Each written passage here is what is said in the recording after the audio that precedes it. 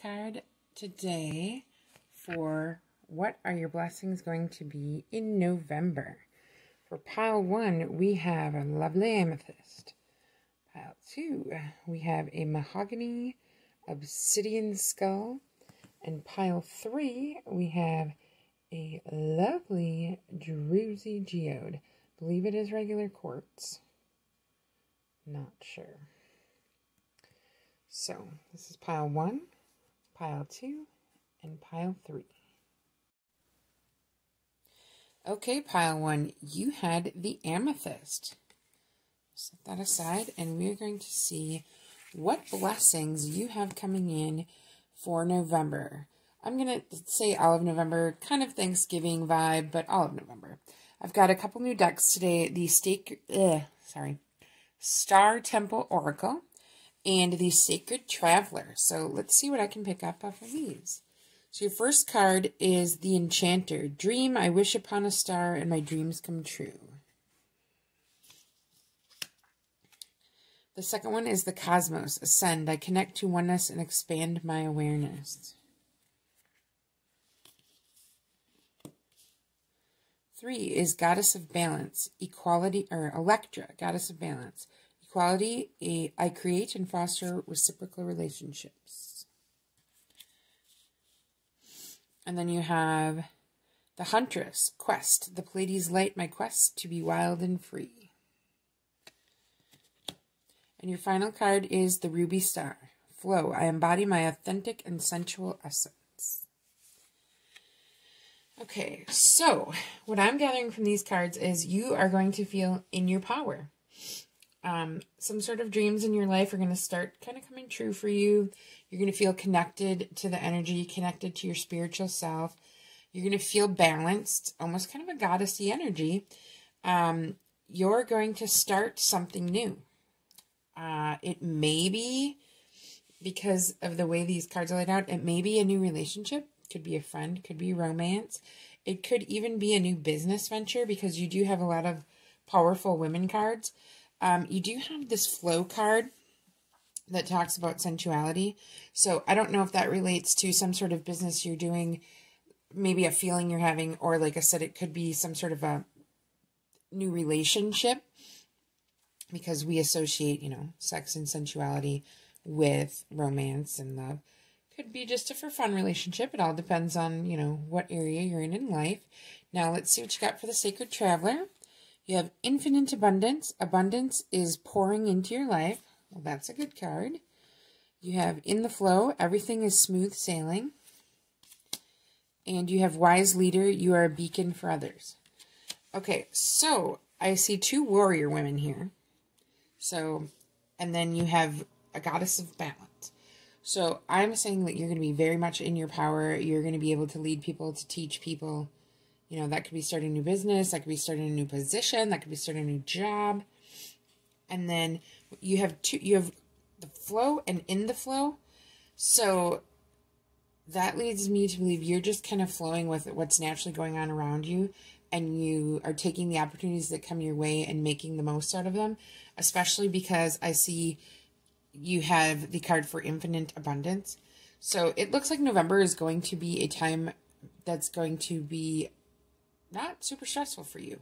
You're kind of in your realm, you're feeling yourself, you're feeling good, you're looking good, you're starting new things, and also having the amethyst. Amethyst is a stone that is grounding, sobering, calming.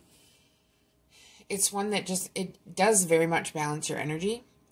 And you could also be pulling in a little bit of Aquarius vibes, like spiritual connection and balance would very much be tied into Aquarius.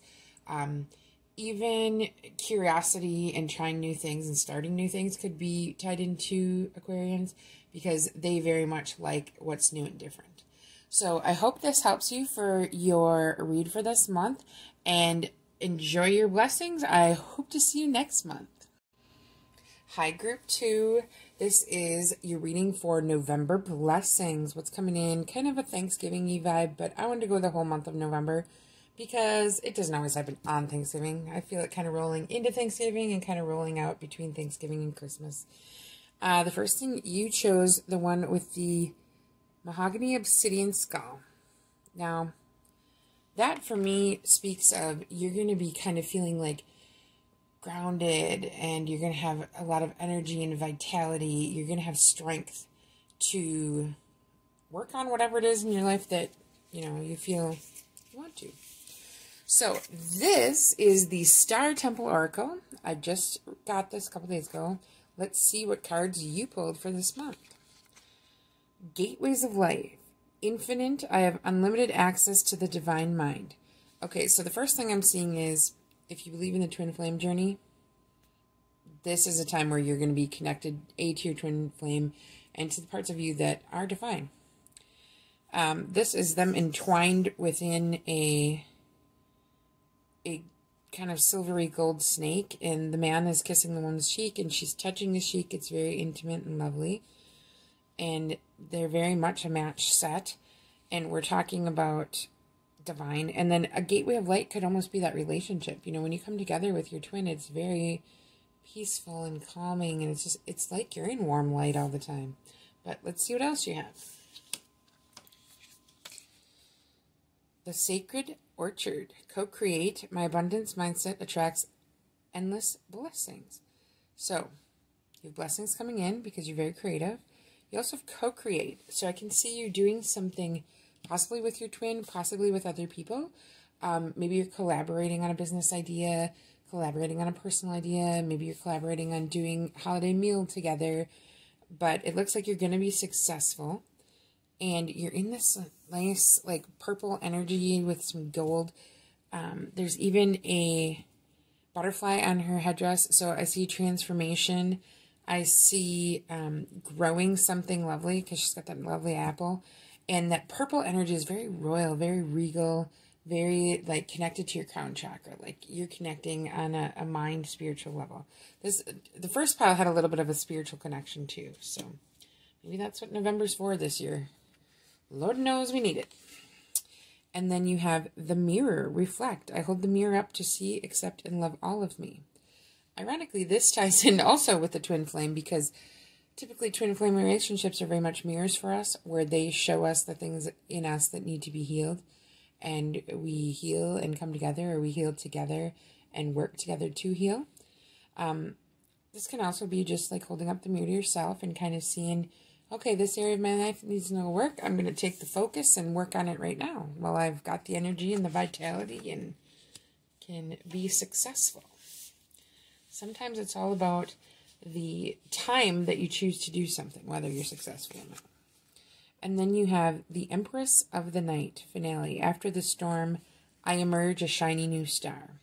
So I take this to mean that whatever you are working on, you're going to be successful. And uh, if you're a night person, obviously tapping into that energy that you feel at night when the moon and stars are out, you know, maybe you don't get that much done during the day, but let's say four or five o'clock runs around, you're like, ooh, now I'm energized. Tap into that. You can do whatever you want at whatever time of the day. And then we have the aquamarine star. Expression. I express my intuition and self confidence and love. So I take that to mean follow your intuition, be self confident, and show yourself and others love. You've got a theme of stars, like four of the five of your um, cards here have stars in them. They all kind of appear to be night because this one has the moon with like a dark gray background. This one has a dark purple with kind of stars. This one has like a purple pink with stars. This one has like a navy blue with stars. This one has like the, the brighter blue with stars. So right now is the time for you to be the star in your life. You know, take the steps that maybe you weren't taking before. Let your self confidence and your intuition be your guide. You know what's right for you. If starting a new job or working for a promotion is what you need to do right now, then do it. If working on your relationship is what you need to do right now, do it. If meeting new people is what you need to do right now, do it. Maybe you don't even know that you're a twin flame or that someone's out there for you. Maybe that's a new path that you're learning. Let's see what you have now for your sacred travel cards. fellow travelers, support is all around you. So that means you're going to be supported in whatever you choose. Reflect and redirect your energy. Now, we were talking about this card is called Impasse. Um, we were talking about focusing your energy, but it looks like maybe you're coming out of a time where you haven't been very focused or you didn't have very much energy. So maybe changing something right now is what you need to keep yourself moving and to move to the next level wherever you feel that you need to. Like I said, it's not real clear whether it is. I mean, you have a lot of a love vibe here, so relationships most likely are involved. But they could be like between you and your boss. They could be between you and the love of your life. They could really be between you and your kids, your parents. You're going to know more how this applies to your life than I would. But I'm just trying to give you a little bit of guidance so that when these opportunities come, you can accept them and you can get the most out of them. And then the final one is surrendering to the journey, release control.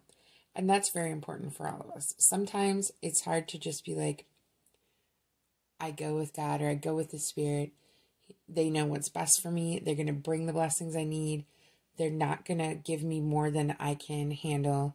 And everything is a lesson that doesn't bring me joy. You know, um, joy uh, can be a lesson too, but everything that you go through that's a hardship, it teaches you a lesson that's important, possibly for the next thing on the journey, or much like a video game.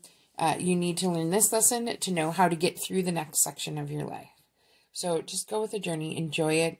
You have success coming along your path, and love is going to be really important for you in November, and acceptance of yourself, and just feeling confident and trust your intuition. May you have a lovely November, and hopefully, I'll see you next month. All right, pile three. You have this beautiful, sparkly druzy. I believe it is quartz. And what I think of when I see this is shine bright like a diamond. So, whatever it is that is your skill or your talent, let it shine. Let the world see it. Embrace those things that are unique to you. And that can be anything. That can be singing talent. That can be maybe you're amazingly good at your job. Maybe you're the best mom out there. Maybe you're the best dad out there. Maybe you're the best aunt out there. Whatever it is, just embrace what makes you uniquely you and shine. November is your time to shine. So, I have these new Star Temple Oracle cards. They're gorgeous purple, my favorite color and the stars on them kind of match with your theme of shine bright like a diamond. And let's see what you get for your cards. I'm curious. You get Mother of the Sea Goddess. I surrender to the boundless creative flow of the ocean. And she's very sparkling. She looks like she's just floating diamonds. She's got a big smile on her face. Everything is light and bright and white. Then you have the Seven Sisters Circle. Sisterhood enriches my life. More stars, more sparkle. Then you have the Oracle Forecast. I am the Oracle. My intuitive insights flow freely. She's got some stars she's holding in her hands. And you've got some nice green energy there, which is heart chakra. Then you have the Moonstone Star, Passion. I'm entering a portal of euphoric love. So you got more stars going on. Then you have the Jade Star, Surrender. I'm ready to let go with self-compassion. Okay, so you've got two very deep green cards here. So to me, that speaks of connection to your heart chakra. It, it talks to heart healing, to having compassion for yourself and for others, to trusting in your intuition, um, to giving freely of your love and care to others. Uh, you also talk about sisterhood, which does not have to be such a binding word. I mean, sisterhood is more like that kind of familial feel. Could also be brotherhood. It could also be, you know, like a mother child relationship. It could be brothers and sisters. It could be really good friends. Basically, it's talking about um, trusting in your your community around you and how they enrich your life like acknowledge that and just kind of go with the flow. Like there's going to be a lot of good good emotions in November December. So just kind of enjoy that ride that out see the opportunity in it and find what it is that you are passionate about. You have a lot of love and passion in your soul right now. So embrace that. You know, do you need a little extra self love? Do you need to share a little love with your family? Are you ready maybe to find a new love interest? All of those things are wonderful things, and you've got the heart energy going here to bring it about. So now let's see what you got for Sacred Traveler cards for a little more uh, clarification.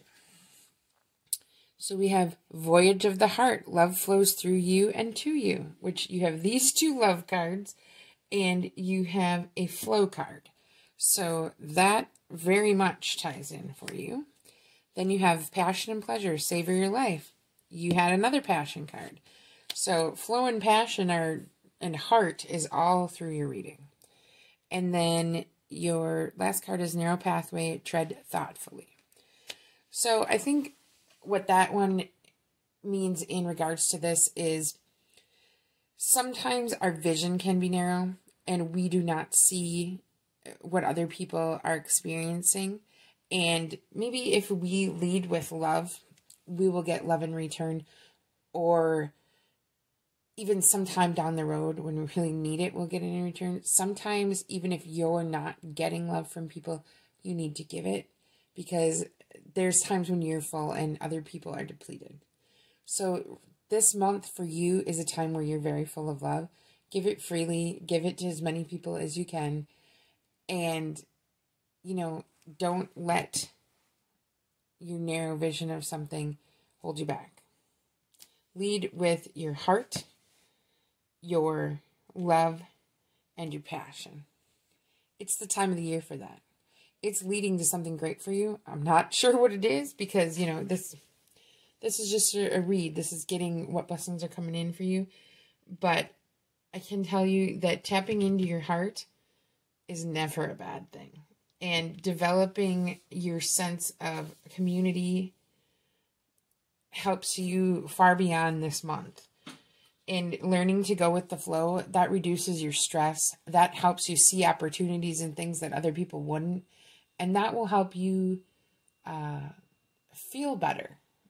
It's a stressful time of the year. You know, we're dealing with a lot right now just embrace all that is good. Let the things that are not good just flow away from you like the river takes the dirt down off the rocks, you know? Um, I hope this is helpful and hope to see you next month. Have a great day.